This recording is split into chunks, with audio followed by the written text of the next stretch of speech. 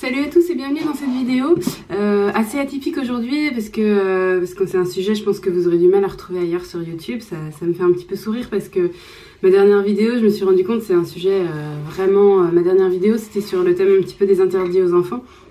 Et je me suis rendu compte que c'était un thème très très traité parce que le lendemain de la parution de cette vidéo, alors qu'il n'y a aucun lien puisque les gens euh, regardent pas spécialement ma chaîne, euh, il y a deux autres chaînes qui ont publié des choses. C'était la chaîne euh, Horizon Famille avec Cyrielle qui parlait bah, du fait voilà qu'elle elle aussi évitait de rajouter des interdits à son enfant puisque puisque elle pense qu'il y en a déjà suffisamment en fait de base. Et puis, euh, il y avait la personne qui gère, euh, qui, a, publié Cool Parents Makes Happy Kid. Cool Parents Make Happy, happy Kid. Ouais. Euh, donc elle, elle a, bon, elle a donné des exemples. J'étais pas forcément d'accord avec tout ce qu'elle disait. Je pense que ça s'adressait aux plus grands en fait. Et, et du coup, c'était le lendemain aussi. J'ai vu ça sur Facebook, sur son, sur son fil d'information qu'elle avait fait une vidéo en fait pour, euh, pour dénoncer notre façon euh, de parler aux enfants très euh, directive et très autoritaire et qui ne leur laissait pas la place. Et donc du coup ça reprenait vraiment des choses de ma vidéo. donc ça m'avait fait sourire parce que je m'étais dit mince on est, on est tellement à donner ce message que peut-être que j'ai pas finalement grand chose à apporter là-dessus, je sais pas. Enfin, aujourd'hui, on parle des revêtements de sol dans les squares et du coup, je pense pas que beaucoup de gens en parlent. Pourquoi je vous en parle? Parce que en fait, ça va peut-être vous donner des pistes de réflexion pour choisir l'endroit où vous allez emmener votre enfant si vous avez eu le choix entre différentes choses autour de chez vous. Peut-être que vous avez regardé euh, euh, quel jeu il y avait, donc euh, voilà, euh, la taille du toboggan, est-ce que c'est quelque chose sur lequel votre enfant va réussir à grimper assez vite, ou est-ce que c'est un truc avec une échelle, échelle ou escalier, hein, c'est pas le même accès, est-ce que les balançoires, c'est plutôt des balançoires qui sont basses, qui sont hautes, est-ce que c'est plutôt des balançoires sur lesquelles votre enfant va pouvoir monter tout seul, ou des balançoires pour bébé sur lesquels il va falloir l'installer, enfin voilà, vous avez peut-être regardé ce genre de choses mais euh, vous n'allez pas forcément regarder le revêtement qu'il y a au sol et pourtant c'est intéressant aussi d'y réfléchir. Alors il y en a plusieurs, euh, je vais vous dire pour chacun euh, ce que j'y vois de positif et ce que j'y vois de négatif. On va commencer, euh, aller au hasard, le sable. Parfois c'est du sable. personnellement j'aime pas beaucoup parce que mon enfant met tout à la bouche et le sable c'est quelque chose qui se met très facilement à la bouche, qui s'avale très facilement et en plus moi Jonas c'est vrai qu'il a, bon ça lui passe un peu là mais il a quand même une période où il adorait le sable justement sur la période de cet été où on était à la plage. Et, euh, et, du coup, bah, il adorait le sable, il adorait en manger vraiment. Donc, euh, si votre enfant est dans la période où il met tout à la bouche, attention au sable parce que hum, bah, il en mangeait tellement qu'il faisait caca du sable. Après, c'était aussi parce qu'on avait fait le choix de le laisser un peu tranquille avec ça quoi hein. donc euh, bon on, essayait de limiter les choses bien sûr on, on essayait qu'il se gaffe pas mais le, principal moyen pour... Euh, j'ai peur, mais c'est juste la chaise. Le principal moyen qu'il euh, en mange pas, c'était de pas l'emmener à des endroits où il y avait trop de sable en fait. Donc euh, ça c'est un des aspects vraiment négatifs du sable. L'autre aspect négatif c'est que bah, quand le sable est mouillé, il reste mouillé en général un bon moment. C'est quelque chose qui, qui absorbe bien l'eau, le sable, et, euh, et, qui reste bien euh, compact avec l'eau. Euh, et puis et puis le sable ça peut être jeté, et puis le sable ça va dans les habits, dans les chaussures. Alors ça peut paraître anodin comme ça, vous pouvez vous dire oh c'est pas grave, on donne un petit coup. Mais le problème c'est qu'on donne un petit coup et puis il y a du sable qui s'infiltre partout. Et quand vous arrivez chez vous, que vous déshabillez votre enfant, que vous le mettez dans son bain ou quoi, et, et que vous êtes effectivement votre enfant il va être propre assez vite, mais euh, puisque vous allez le laver. Mais du coup, si vous devez en plus faire le ménage chez vous, bah ça se réfléchit parce que des fois, c'est pas très rigolo d'avoir à faire tout son ménage pour euh, tout simplement euh, avoir été au square. Surtout si on y va tous les jours, on n'a pas forcément envie tous les jours de ramener du sable. voilà, point positif du sable quand même, c'est naturel, c'est vrai. Et, et c'est très agréable quoi, hein, de s'asseoir dans le sable. voilà, c'est très sympa ça fait, ça fait, euh, ça fait vacances un peu. Mais, euh, mais pour les enfants, qui commencent à marcher, les pré-marcheurs, on appelle ça, euh, qui sont beaucoup à quatre pattes, euh, qui, euh, qui marchent mais qui tombent beaucoup. Alors le sable va amortir bien les chutes, c'est vrai, mais le sable ne va pas non plus les aider à pas chuter parce que c'est une matière très souple, donc c'est difficile de marcher dedans. Et puis ceux qui sont à quatre pattes, dans le sable, il y a des chances qu'ils se prennent du sable dans les yeux assez facilement. sachant que si, as des grands, si vous avez des grands pardon, qui courent autour, assez vite le sable vole. Voilà pour le sable. Deuxième euh, matériau, on va rester dans du naturel, les gravillons, euh, et dans du j'aime pas du tout, parce que là pour le coup vous comprenez bien que moi avec un enfant qui met tout à la bouche, euh, bah, les gravillons c'est un petit peu stressant. alors j'avais discuté de ça avec mon docteur pour me rassurer une énième fois. normalement si votre enfant en avale un, en avale deux, Bon bah c'est pas dramatique, il va aller, ça va, ça va faire son petit trajet et puis ça va ressortir. Et moi j'avais surveillé un peu la couche. Euh, le médecin m'avait dit c'est pas la peine, de toute façon ça va ressortir. Sinon, si ça ressort pas, votre enfant il aura des signes de gravité qui vont apparaître dans les 48 heures quoi. Donc euh, donc si vous voyez que votre enfant va bien, bah c'est bon, ça veut dire que le gravillon il, a suivi son petit trajet et il a réussi à repartir. Mais euh, c'est vrai que c'est un peu stressant d'être toujours là à dire attention, non, mais pas dans ta bouche. Ça c'est vraiment quelque chose moi que j'aime pas du tout être. Sur un lieu où il y a des gravillons, je suis toujours obligée d'être vigilante, je peux pas laisser mon enfant tranquille, j'aime pas du tout. Euh, de plus, les gravillons, euh, comme je disais tout à l'heure, ça se jette, euh, le sable se jette, mais ça fait pas mal. Les gravillons, ça se jette et puis ça fait mal. Donc quand il y a des plus grands qui s'amusent à balancer des gravillons, c'est pas très marrant. et puis c'est tentant quoi pour eux, je comprends, hein, c'est tentant, hein, et ils ont envie de faire des batailles de gravillons, sauf que bah du coup du coup, bah, c'est pas adapté, hein, c'est ni pour eux, ni pour les plus petits. Euh, les gravillons, ça absorbe un peu moins l'eau, c'est vrai, enfin, du coup, c'est humide, mais, mais ça reste quand même... Euh, bon, ça reste bof bof quoi. S'il a plu, euh, bah, ça va garder quand même de l'eau en dessous. Donc euh, voilà, ça c'est ni génial ni nul euh, pour tout ce qui est rapport à l'humidité. c'est pas terrible pour amortir les chocs de votre enfant parce que je trouve qu'il y a quand même des fois c'est un petit peu dur. Et c'est pas terrible non plus pour l'empêcher de tomber parce qu'il a du mal à marcher dedans parce que c'est souple. Comme je disais tout à l'heure pour le sable, c'est le même mécanisme. voilà, le point positif c'est que ça reste naturel quand c'est de la pierre. Enfin c'est une pierre euh, naturelle quoi. C'est tout. Euh, les copeaux de bois, je sais pas si vous avez déjà vu ça, les copeaux de bois, on reste dans du naturel un petit peu comme ça. Euh, les copeaux de bois, c'est quand ils... Ben, je les ai déjà vu faire, ils coupent des arbres. Vous savez, quand ça commence à prendre un petit peu trop d'ampleur dans les parcs, ils coupent les arbres et puis après ils ont une machine qui cisaille le bois en petits copeaux et puis ils mettent ça en revêtement de sol sur les aires de jeu. Alors, c'est vrai que c'est naturel. Euh, mais comme c'est coupé, en fait, c'est des fois c'est vraiment euh, faire attention quand même parce que c'est vraiment blessant. C'est euh, parfois c'est c'est très comment dire, c'est ça peut vraiment être coupant quoi. Ça peut être pointu ou il peut y avoir des petites échardes. Enfin voilà, faut surveiller quand même un peu quand c'est fraîchement mis surtout. Après, je pense que ça s'arrondit. Mais quand c'est fraîchement mis, quand les copeaux de bois ils sont vraiment bien bien blancs ça va, ça va peut-être faire mal à votre enfant s'il les manipule, s'il les met en bouche. Donc euh, bon, faut, faut surveiller, mais ça reste de mon côté quelque chose quand même qui me détend un petit peu plus parce que je sais que mon Jonas il va pas en manger 45 euh, 000 des copeaux de bois. C'est quand même assez gros. Moi je le laisse personnellement mettre en bouche, même si d'un point de vue hygiénique je suis d'accord que c'est pas top. Mais euh, quand il en trouve un gros que, que j'ai repéré n'être pas dangereux pour lui et qu'il le mâchouille, euh, personnellement, je, je me formalise pas. Donc, à mon sens, c'est quand même un petit peu plus facile avec un enfant qui euh, met tout en bouche, ce, genre de revêtement. Mais ça reste toujours compliqué de marcher dedans. Au niveau amorti, s'il y a une chute, euh, c'est moyen, c'est ni génial. Voilà, c'est entre, entre les gravillons et le sable, c'est entre les deux. et puis au niveau pour les petits qui, avancent à quatre pattes. Je pense que ça les perturbe pas des masses en fait, parce que c'est quand même quelque chose... Voilà, même si c'est des petits morceaux, c'est quand même quelque chose qui fait un ensemble assez uniforme et un petit peu plus dur finalement que, le sable ou les, ou les gravillons. Euh, ça va faire quelque chose d'un petit peu plus dur et qui pourtant garde une certaine euh, souplesse. Attention mon Jonas.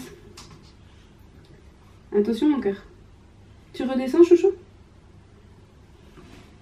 Tu redescends. Ouais, super. Merci mon doudou. Euh, il monte sur les meubles. Hein Je préfère quand tu joues. Ouais, je préfère quand tu joues en bas. Merci. Euh, du coup, est-ce que j'en étais? Donc euh, le bois, donc l'avantage c'est toujours pareil, hein, c'est que c'est naturel. Euh, et puis bah, pour les enfants qui mettent à la bouche, si toutefois vous êtes en mesure de supporter ça. Tiens mon lapin, je te donne ça. Ça et ça. Waouh, super Euh, autre revêtement possible, parfois c'est tout simplement de l'herbe. Alors l'herbe, c'est vrai qu'en dessous c'est de la terre forcément, donc euh, ça a une capacité d'amorti en cas de chute. Euh, c'est pas dingue non plus, hein, faut pas tomber de trop haut. Et puis, qu'est-ce qu'il y a Tiens. Bon, je sais pas si tu veux vraiment, je garde pour après. Et puis, euh, donc, euh, la, la terre absorbe l'eau pas mal, donc euh, en cas de, de pluie, euh, c'est vrai qu'on peut se dire tiens ça va drainer. Sauf que le problème de l'herbe c'est que très vite ça va prendre de la rosée. Euh, il va y avoir euh, enfin là euh, ce matin avec Jonas il fait beau il n'y a pas de souci mais on a dû traverser un plan d'herbe et il y avait eu de l'humidité. Et ben très très vite votre enfant va être mouillé surtout s'il il passe à quatre pattes ou s'il s'assoit voilà très très vite il se retrouve trempé. Donc c'est un revêtement qui est quand même à privilégier peut-être plus pour l'été en plus, il faut faire super gaffe avec l'herbe sur le côté euh, qui est venu ici avant moi. Parce que l'herbe peut facilement dissimuler des choses, euh, capsules de bière, mégots de cigarettes, des trucs un petit peu dérangeants quand même pour euh, les petits. Donc méfiez-vous, parfois il y a des ados qui viennent squatter les aires de jeu et quand il y a de l'herbe, ça leur donne envie de s'asseoir. Donc, attention, parce que voilà, il y a, il y a des... Hum, je sais pas, il y, a des normes qui font que peut-être ils vont aller moins sur, euh, les autres euh, revêtements que je vous ai dit avant. Dans l'herbe, faut faire quand même super gaffe. Je sais qu'à Paris, j'avais été vraiment vraiment choquée. Euh, à un moment où j'avais voulu mettre mes enfants à jouer au ballon sur, bah, une, pelouse, quand j'étais montée à Paris cet été. Euh, sur une pelouse, je les mets à jouer et tout, et puis j'étais contente, je les regarde, et puis d'un coup je commence à avoir une capsule, deux capsules, trois capsules, donc les capsules de bière c'est quand même hyper coupant, et euh, mon Jonas qui faisait du 4 pattes dans tout ça, et puis je tombe sur les mégots de cigarettes, voire plus, enfin bref, du coup j'ai dit ok on remballe, on va ailleurs, et j'ai trouvé une autre pelouse, euh, parce que voilà c'est pas toutes les pelouses bien sûr, mais attention d'y prêter l'œil, surtout si vous avez un tout petit qui a tendance à tout ramasser, parce que la capsule elle peut finir dans la bouche. Euh, c'est un petit peu, euh, c'est un petit peu stressant. Euh, au passage, sur tout ce que l'enfant met en bouche, il n'y a pas grand chose qui est dangereux. Je, vous disais un gravillon par exemple, ça va ressortir, mais par contre, si jamais un jour votre enfant avalait une pile, vous savez les toutes petites piles, là par contre vous appelez directement votre médecin déjà dans un premier temps ou carrément les urgences. Je sais que les piles c'est vraiment très dangereux et, et, là il faut, il faut pas, il faut pas laisser ça dans l'organisme de votre enfant. Je vous le dis au passage, c'était pas le but de la vidéo, mais, mais voilà. Euh, donc l'herbe, donc l'avantage c'est que c'est naturel quand même. Si c'est une herbe qui est, euh, si c'est sec, si c'est pas sale, etc. et que c'est une herbe qui est, euh, belle et qui est, très bien pour laisser votre enfant, bah là par contre je trouve ça super parce que parce que voilà c'est naturel. Votre enfant au pire il va arracher 3-4 brins d'herbe, les mettre à sa bouche il va pas se gaver d'herbe, donc euh, c'est pas trop dérangeant non plus pour moi. Donc ça peut être aussi quelque chose de super agréable, l'herbe, mais tout dépend quelle herbe. Il faut quand même avoir un regard un petit peu critique euh, sur l'endroit où on s'installe. Euh, et dernier revêtement, oui, je crois que j'ai déjà tout dit le reste. Dernier revêtement, c'est le seul qui n'est pas naturel, mais il a plein d'avantages. Euh, J'en suis un peu navrée. J'aurais bien aimé préférer les choses uniquement naturelles. Mais là, il se trouve que perso, à l'âge de Jonas, c'est mon préféré quand j'en vois un comme ça. C'est le revêtement, vous savez, en sol souple, plastifié. Euh, voilà, c'est un petit peu rebondissant, donc c'est vraiment bien quand l'enfant tombe, il ne se fait pas mal. C'est euh, quand même assez dur, donc ils arrivent à marcher euh, très facilement dessus, sauf quand ils s'amusent à... Des fois ils s'amusent à faire des bosses ou des trous ou quoi, des fois c'est vraiment fait exprès, donc pour que les enfants expérimentent. C'est sûr que c'est une bonne idée, hein, mais, euh, mais parfois moi j'ai juste besoin d'avoir euh, du plat pour avoir mon Jonas qui est tranquille, euh, même si maintenant ça commence à l'amuser d'aller sur des reliefs, mais, au tout début sa marche je cherchais juste des, trucs bien plats. Donc voilà, ça a cet avantage quand même d'être idéal pour l'enfant à quatre pattes, debout au début, et puis même les plus grands, quoi, ils n'ont pas trop de bêtises à faire avec ce sol souple, sauf quand il est abîmé. Il n'y a rien qui peut être ramassé, il n'y a rien qui peut être mis à la bouche. ça sèche assez vite, hein, c'est quelque chose, l'eau va s'écouler. Des fois c'est un peu bombé, justement, hein, légèrement, quoi, juste pour que l'eau s'écoule, et puis autour on a, on a une surface avec de l'herbe souvent. Euh, et, du coup bah, l'eau va s'écouler sur la terre un peu plus loin. Donc euh, c'est vrai que c'est assez vite sec. Donc ça a cet avantage là aussi. L'enfant peut s'asseoir dessus même s'il a plu euh, il n'y a pas très longtemps. Au pire ça va être légèrement humide mais ça va pas être une grosse eau qui va remonter du sol et le tremper complètement c'est en ça que je me différencie du sable par exemple euh, voilà, qu'est-ce que ça a d'autre comme avantage? Je crois que j'ai fait quand même un petit peu le tour. Le, seul inconvénient, du coup, ben, seul inconvénient, enfin, ça, peut paraître un gros inconvénient, surtout si vous êtes assez écolo, euh, c'est qu'effectivement, c'est euh, bah, plastique, quoi. C'est un matériau qui a été transformé, voilà. Donc, bon voilà, je, laisse à chacun d'apprécier euh, ce qu'il a envie de, plus soyer ou pas, de où est-ce qu'il a envie d'emmener son enfant. C'est vrai que en général, j'alterne entre euh, l'herbe quand c'est sec et propre, euh, les surfaces plastiques c'est vrai que ça m'attire particulièrement parce que je trouve que c'est hyper confortable pour les parents et pour les enfants aussi. Enfin, et inversement en fait, hein, pour les enfants et donc pour les parents. Euh, et puis euh, les copeaux de bois.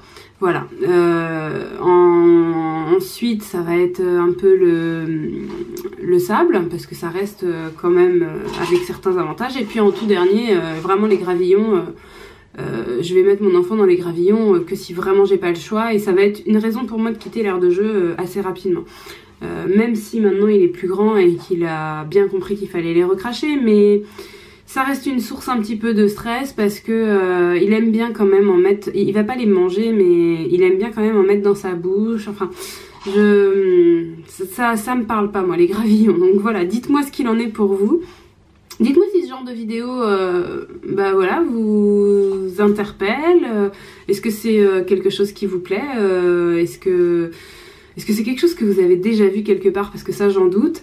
Et puis, bah, si vous, vous avez des aspects positifs ou des aspects négatifs en tête sur ces différents revêtements, n'hésitez pas à les ajouter. Éventuellement, je mettrai un petit edit en dessous de la vidéo pour, pour compléter. Parce que là, il y a peut-être des choses aussi que j'ai oubliées. Donc, interagit, euh, on partage, il n'y a pas de souci. Et si vous pensez que cette vidéo peut être utile à d'autres, eh ben vous n'hésitez pas euh, à cliquer pour leur envoyer, ça, on sait jamais, hein, des jeunes parents qui qui n'avaient pas forcément pensé à, tous ces trucs-là, euh, peut-être que ça peut les aiguiller pour savoir si en sortant de chez eux, ils vont plutôt vers la droite ou plutôt vers la gauche, et ça leur fait gagner un petit peu de temps. Donc partagez vos expériences, mettez-moi le petit pouce j'aime si ça vous branche et puis abonnez-vous si c'est pas déjà fait dans les prochaines vidéos. Je voulais vous parler du programme aussi. Euh, il va y avoir... Alors, comme on arrive au premier anniversaire de Jonas, je vais vous faire un petit euh, classement des top jouets pour le premier anniversaire selon moi. Et puis il y avait autre chose dont je voulais vous parler, mais je sais plus. Ah oui, si. Euh, pour l'anniversaire de Jonas, euh, je prépare des choses et euh, comme vous avez pu lire si vous lisez les, les trucs que je mets sous la vidéo, donc euh, peut-être que c'est pas le cas, mais je suis sur Facebook, la plupart d'entre vous le savent déjà, mais je suis aussi sur Instagram depuis pas très très longtemps. Et sur Instagram, je vais poster des choses en rapport avec l'anniversaire de Jonas justement. J'ai déjà posté les petites cartes de d'invitation que j'avais fabriquées. Je vais mettre quelques autres petites photos de choses que j'organise. comme ça, bah voilà, vous pourrez peut-être piocher des idées et bah, si vous avez regardé mon Instagram, vous n'êtes pas nombreux hein, à l'avoir vu pour l'instant, mais si vous allez le voir, vous allez voir que j'étais à Pornic euh, il y a quelques temps, vous allez peut-être reconnaître, et euh, je me suis dit que j'allais vous faire une vidéo destination Pornic pour euh, vous dire ce que j'ai pu y faire là-bas avec les enfants et ce que j'en ai pensé. Euh, ça sera, je pense, quelque chose que je serai amenée à renouveler en fonction des différents endroits où j'irai parce que chaque fois que je vais quelque part, je teste des choses pour les enfants et euh, parfois il y a des bonnes surprises et parfois il y a des mauvaises surprises, mais ça peut peut-être vous aiguiller. Donc euh, je partagerai ça avec vous aussi sur la chaîne. Je crois que j'ai fait le tour là cette fois-ci. Je vous dis à très vite pour une prochaine vidéo.